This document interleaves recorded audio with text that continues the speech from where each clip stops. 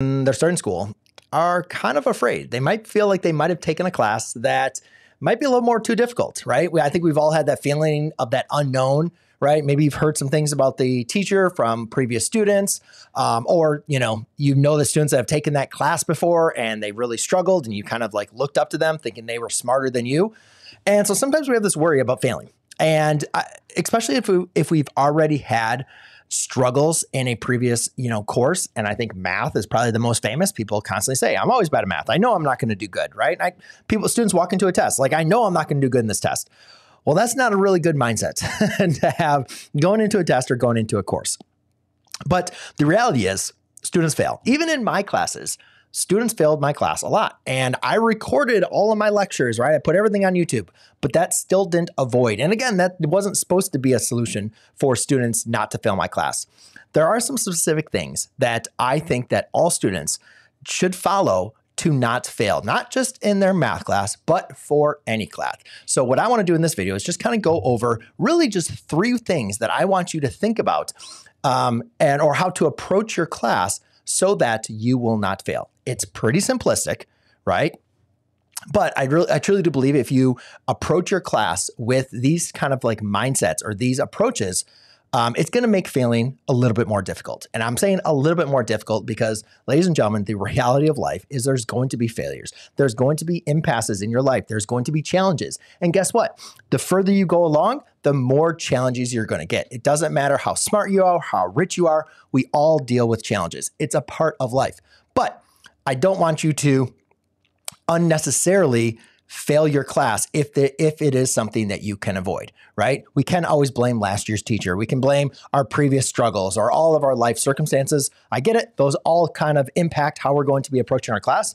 But let's go and take a look at some things that we can do so we can avoid looking at failing our class. The first thing, not the first thing. What was I going to have? Um, Oh, yeah. The first thing a lot of students always asked why I stepped away from teaching. They say like, oh, you know, was it like you make so much money on YouTube, or you, you know, you like teaching is bad. You know, teaching is they always teachers don't make enough money, or you know, they, you know, teaching has changed for how when I was a teacher and stuff like that. Well, the simple answer is, I stepped away from teaching because I could not do everything that I wanted to do as a teacher. One thing that I constantly talked about is, you know, my last year of teaching is when we had our third child. And at that point in time, I think I had a four year old, a or five year old, a four year old, and a infant uh, and a newborn. My life was pretty crazy. And obviously, as a parent, my number one focus was my children. And that is something that I wanted to make sure that I could be there for them. And having children and being a parent is very, very time consuming. And teaching is also something that is very, very time consuming. That's why you see a lot of teachers, you know, they step away from the classroom when they're having a child or, um, you know, to take care of their children at, at any walk of life. Now, for my first two children, I was able to get by, but it was extremely busy with some very, very late nights. And I put in a lot of work um, late at night and early mornings to get things done because I still had that focus and vision of being there everywhere for my students. Once I have the third child, I kind of realized I can't do it. I can't put in what I needed to put in to being a teacher as well as to a parent. I realized I was stretching myself too thin. And that is the, that is one of the bigger reasons why I stepped away from the classroom. And what I want you to come away from this is when you're trying to like not avoid a class or trying to fail a class, what you need to maybe take a look at is what are you spending your time doing? Because the Pareto principle is one that says the 80% of the output is going to come from 20% of, you know, a certain effort. And so what I want you to do is focus on what is the most important. One thing I've found from most students, or one thing I found from a lot of students, is that they focus on what Jim Rohn used to say, minor things. You got to focus on the major things. What are the things that are the most important to that class? What are the things like what are the things that are going to move the needle the most? I as somebody always wants to do everything I can. I always want to be the best at everything and try to take on as many responsibilities as possible.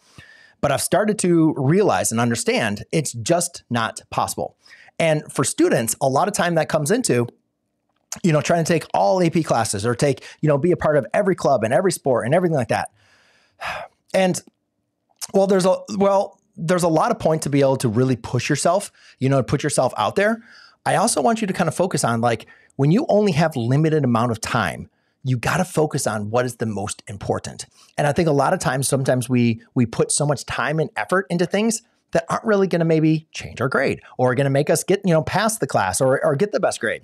So if you are limiting your time, one, try to think if there's things that you can limit or reduce. So therefore you can focus more time on that class or that test or whatever else. Or even if you are just limited and that's the way things are going to be, try to focus on the things that are the most important. You know, the most important problems, those problems that you see time and time again. Focus on um, what activities are going to give you the best results. It all comes down to being strategic. That is what the Pareto principle is going to teach you about focusing on that 20%. Be strategic in what you're spending your time and focusing on. Don't try to do everything. Okay. Because if you try to do everything and you try to be the best in everything, it's going to be very difficult to maintain that on the long run. Yes, it happens, but over the long run, you end up burning yourself out and end up, you'll come back later in life and realize, oh, wow, I tried to do too much. That was me. Now, one of the things that I, when I, one of the things when I was struggling in my college college algebra class, I, I, was struggling and I didn't really understand. And like I did focus. I remember like my my freshman year, I took like a reduced class load my freshman year because I wanted to focus on being really good at math because I knew I struggled with math. So I was like, I'm going to have to spend a lot of time focusing on my math class. So I did not take like a full full schedule. Right? I actually didn't even know about it now, but now I think about it. When I was thinking about these notes, I was like, hey. I actually did that on purpose. Like I reduced my workload so I could focus on that specific class because I know I was like, I need to learn this stuff. Now, here's the embarrassing thing. Even when I took, even when I like was in, I took pre-calculus as a senior, and I didn't even test into pre-calculus in college. I tested into intermediate algebra, the class below pre-calculus. And that was kind of embarrassing, especially for one person that was supposed to be a math teacher, right? Math teachers were in calculus their freshman year. I was in algebra. Okay. Kind of embarrassing. And then even more embarrassing, I think I failed my first test in algebra in college. And I thought I was like, I was like, oh, I can definitely do algebra. This is good. I know all the stuff. And yeah, I failed it. So what did I do? I went to the tutor lab every single day. Every single day. I did my homework in the tutor lab. Every single time I had a quiz or a test, I was studying or I was reviewing them with the tutor. And you know what? It was embarrassing because most of the students that were in that tutor lab were ones that like you know, always struggled with math and everything else. And here I was getting help as somebody that was supposed to be an expert or a math teacher. And the reason why I bring this up to you is because it was humility. I won't say humility. Um, I had to have humility to be able to walk into that room and say, I need help, right? Because so often you're like, oh, I'm supposed to be a math teacher. Like, I'm supposed to know this stuff. You know, all these other math teachers are in, you know, in my program, are already in calculus and calc one, calc one, and calc two. So I, ha- I had to kind of like swallow swallow that pride and go in there and get help. And I think that's a hard thing for a lot of times students. They don't want to let people know that they need help, right? A lot of times we sit in the class, we don't understand something. And rather than raising our hand and asking a simple question that is a very verified, like why you don't understand something, we put our hand down and we just say, you know what, mm, maybe I'll understand it later. Maybe I'll ask somebody later. And that usually doesn't happen. So the next step, guys, to avoiding failing your class, it's really obvious, but sometimes it can be really hard because we have our pride, right? Or we, we you know, we we have our our pride or our our social life and something we just don't want people to know that we're struggling or we don't understand. But we got to own it. And it's to get help. When you have questions, ask questions. It's the most common question I usually get on these live streams is Mr. McLogan, how can I do better in my class? Or you know, how can I pass my class? And I'm like, do the work and ask questions. It's really a two-step principle. I mean, that that's about it. So if you can focus on realizing when you are struggling and get help immediately. Don't wait. Don't say, oh, I'll maybe ask my friend or my cousin when they come in town this weekend. No, no, no. Get help immediately. Go to office hours with your teacher. Stay after school. Go to a tutor lab. Take advantage of free resources. Go to my Discord server. Ask questions there. There's tons of amazing people that are online that are willing to help you with your questions right? Watch YouTube videos. I know like there's tons of avail- opportunities for you guys. Get a private tutor, pay some money if you if you have if you're afford if you're able to afford it. But I think the same thing is like sometimes students, especially the older and older we get, the more we don't want to let other people know that we're struggling. And I think to to avoid that you're going to fail a class or get into deeper trouble, you have to be able to get help when you need help.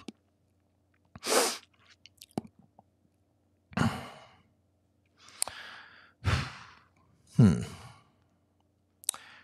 And now, if we're talking about embarrassing things, let's talk about another embarrassing thing that I actually don't talk that much about. And that was actually when I was going to take my real estate exam. Now, um, so to go in real, so when you want to be a realtor, all you have to do is, you know, I think have a high school education, and you can just go and take a. You have to take like a forty hour course or something like that, and then you have an exam. And I was teaching at this time. It was, you know, back in 2010. My YouTube channel had just started, but I needed to do real estate because I was trying to make, you know, as much money, whatever as I could. Um, so I was hustling. And one of the things that um, you had to do was like there's a like a law, there's a math portion, everything that like as a, a licensed realtor they want to make sure testing that you know. So I was obviously pretty confident in the math version, right? You know, like I understood the math. I was like, okay, yeah, I'm good. Like so, I didn't really put that much time into it. I wasn't very versed in very well versed in law, so I spent a lot of time like studying those, um, you know, studying all those um, the problems and questions and stuff like that. And then I took the test, and guess what? I failed. I think you needed like a 50% or no, like a 70% or something like that. And I got like a 68%. It was literally down to like one or two questions. And you could either retake the test like another time or you could pay to get you your answers. Well, of course, I went and paid to get to my answers. I'm like, what did I get wrong? And unfortunately and embarrassingly, I got like two of the math questions wrong. And there was a couple other questions that I'm like, I had no idea what the answer was. Like, they're, you know, it's like, all right, chalk those up as a loss. But then there was two problems that I got wrong on the math. And I was like, crap, I'm a math teacher. like, I can't be getting this stuff wrong. But I looked at it. I realized what I did. It was much more, I would say, I attributed much more to my testing policy. I read the question, I thought one way, and I didn't adjust. Um, I didn't really read through what I needed to do. So I did the wrong math work and arrived at a different wrong answer. But the thing was, that stunk to fail that, right? But guess what I did? I studied the math. I focused more on the math portion, right? And I re I reviewed all of the law cases, everything I needed to do. I retook the test and I passed with like flying colors. So probably I think like somewhere in the mid 80s or something like that. Didn't like perfect it, but I I did much better, right? And the thing that I want you to understand is when like to avoid failure, you you have to avoid the little you have to keep on getting up for the little failures, right? It's it's about like the football, you know, I'll do the football analogy because football just started. You think about like the main goal, like people say, like win the Super Bowl, win the Super Bowl. Well, guess what? On winning the Super Bowl, that's the main thing. Like you got to get there. Are you going to lose games? Of course. Are you going to lose like third downs, you know, conversions? Yes, of course. There's going to be little failures. They're going to happen. I've been a licensed realtor since 2010. I didn't let that one little failure stop me and say, all right, real estate's too hard. I'm not going to become a realtor. Right. So you're going to have failures. You're going to have setbacks. You're going to have challenges. You have to learn to overcome them. Don't get down and out and say, I quit just because something didn't go your way. All right. So you're going to have quizzes you're going to struggle on. You're going to have tests you're going to fail. But again, you can still pass the course. I used to tell this to students all the time. They would fail quarter one with me. And I say, hey, you know what? You're working hard. Like you can pass this class. I just failed. I'm to, I want to drop out of this class. I, you know, I can't, you're not my teacher. I can't deal with you. I'm like, no, you need some time to get used to me. Unfortunately, it took a quarter, and unfortunately, the grade is what it is. But I know it. I see in you that you can be successful in my class. And time and time again, multiple students that I have had struggled that first quarter, D's, F's, and guess what? Ended up with A's and B's. It's possible if you're willing to learn from your mistakes, learn from your challenges and your setbacks, but don't give up and keep on working through it. The only time that students failed my course is one when they would give up and they would stop trying. That is it. And so I hopefully if you can use these three kind of tips throughout this video, I'm telling you, don't give up. You can do it. I believe in you. So hopefully that was helpful for you. If you guys have any more questions, then feel free to go to brianmclogan.com forward slash Q&A and you guys can go